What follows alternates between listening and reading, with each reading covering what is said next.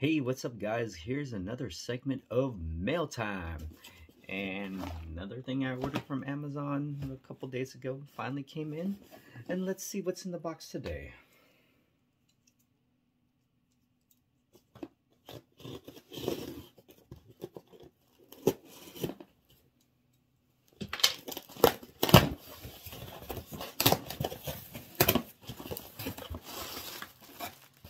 First on the list it's uh, a lighting kit from my DJI Mini 2.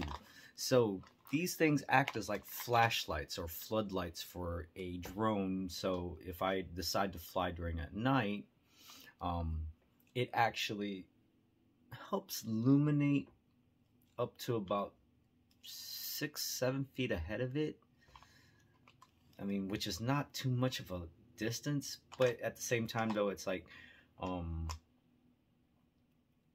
essentially it's it's like uh just to help see through through in in in in, in uh, night night flight situations. Um, I also have a beacon light for uh, some of my smaller drones, but uh, hopefully this should help out in terms of flying flying at night, and then I could visually see things better I mean, it's going to come out pixelated since everything's all being recorded digitally, but whenever you have like artificial lighting happening in place, what happens is that it's going to create a lot of pixelization uh, and slight distortion on the image as versus to flying during the daytime when you have actual natural lighting. All right, and then the last piece in the box is actually a micro drone. Micro drones are a class of drones that uh, are meant to be flown mostly indoors. You could fly it outdoors, but the thing is though, micro drones do not handle even small gusts of wind or just some sort of like a, a breeze. It depends on what kind of micro drone you're flying. I mean, I've found I've flown some micro drones in the past, but the problem is those is that even I remember one time I actually like just blew into it. It's like, right? that thing went, went just went away. So this is by 4DR. It's a company that, um, or 4, I'm sorry, 4, 4DRC. So they make drones just like any other company out there that makes their own class of drones too. I mean, there's just outside of like DJI, Autel, and uh, a few others to mention, or I won't even care to mention, um, a lot of these smaller end companies um, produce either clones of DJI drones, but barely even perform half of what it can actually do. But at the same time, though, I mean, if you're looking to get into the scene and, you know, you're not trying to find anything to break the budget. Um, up until recently, when back in 2019, when DJI released a uh, the Mavic Mini, uh, it was like the first like true budget drone. Well, technically, it would be the 2017 DJI Spark. It was meant for people, especially like who do a lot of social media postings, like I do but as well I do I do some semi-professional and professional um, camera camera works as well too or aerial cinematography as well. Anyway so let's get into this real quick. I mean obviously it's not charged so I'm gonna have to do a separate segment follow-up video after this one. Um, the whole entire recording length of this mail time segment is actually going to go on my YouTube channel but I'm going to cut this down into a one minute segment for all my TikTok followers out there. All right, so comes in this nice, lovely case. Portable and travel, yeah. All right, so here is the drone itself. Oh my gosh. All right, off the bat, yeah, the um, the drone's embedded in there. Kind of sort of difficult to take it out. I'm gonna try it. Uh, there we go. There we go. There we go. Oh my gosh. Battery came out. So, yes, you just slide in the battery like this. So you know this is the back end of it. And slide in and it should click in or if not, just kind of more or less force its way in there. Ah, there we go. Yeah, so it snaps in. So you have to give it a little bit of pressure, a little bit of a push. All right. So the camera itself is not on a gimbal. A gimbal is um, a type of uh, rotational device that helps keep uh, things stabilize or it does an autocorrect. So if you do fly normally without a gimbal system, what happens is that the camera is just going to be free to like, you know, move around. But an electronic gimbal stabilization helps helps to keep the camera steady. So you can fly almost as wildly as you want. But the interesting part about electronic stabilization gimbals is that it helps correct um, and keeps the shot uh, steady as well too. All right, so let's unfold this real quick. Wow. It's quite interesting how sometimes when I shop on Amazon and then they make it seem like it's like a big, big thing or it's a big item like or the way it's shown in the in the photos when in actuality this thing unfolded which I think I have it unfolded all the way fits right on the palm of my hand and some micro drones are even much smaller than this. So this will be like in the larger class of the micro micro drone series.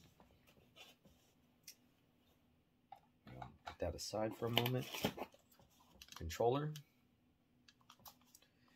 and I believe I can mount my cell phone in here and actually can support up to an iPhone 12 Max from my understanding that I saw from one gentleman's video on YouTube when he did a product review of this.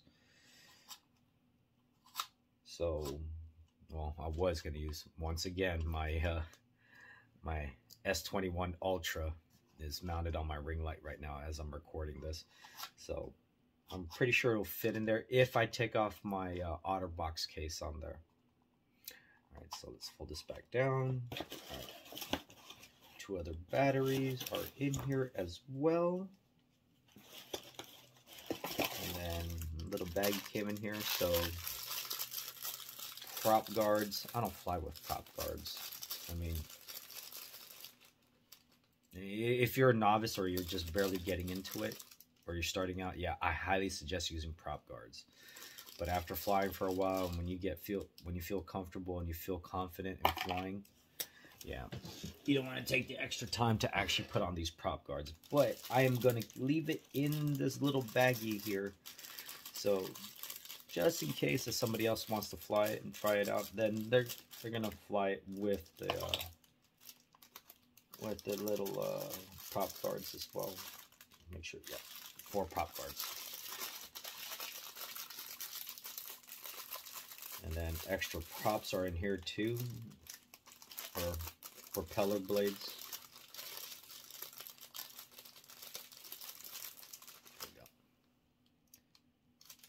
And looks like there's a set of four in there. And I have no idea what this doohickey does. I believe it might be for, oh, it's probably uh, to help set the pop guards in place. I'm not sure. And this little tool came in here. Um, I don't know. I'll figure it out later. That's what the sets of instructions are for, right? Which I believe, yep. Yeah, that big I swear this is almost as thick as the old school like VCR instructions back in the days, especially if you came from my generation, you know, Gen X and baby boomers who had to operate uh, VCRs. You know, prior back to the days where if you wanted to, you know, record something that you see on TV, a program or a show, you actually had to set your VCR and set the timer on it to record exactly actually, I'm not a big fan of seeing that like in the background killed in action. Yeah, this was uh, last weekend's recording of me uh, and some of my friends from Team Fact who play uh, Ghost Recon Wildlands for PC. So I have to scrub through the whole entire video and then put together a new episode on my YouTube channel as well. All right, last thing that ooh, what came in my mouth? What was in my mouth? Um, what came in this little baggie was this little screwdriver. So it's to help to, if I recall from that tutorial video. Oh, wow. Hmm. Once again, I'll figure it out.